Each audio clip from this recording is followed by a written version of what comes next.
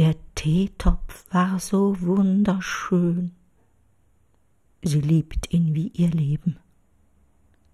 Sie hat ihm leider aus Versehen den Todesstoß gegeben. Was sie für Kummer da empfand, nie wird sie es vergessen. Sie hielt die Scherben aneinander und sprach So hat's gesessen.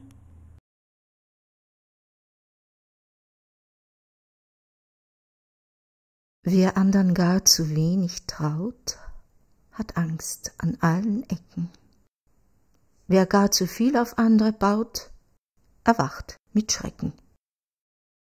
Es trennt sie nur ein leichter Zaun, die beiden Sorgengründer.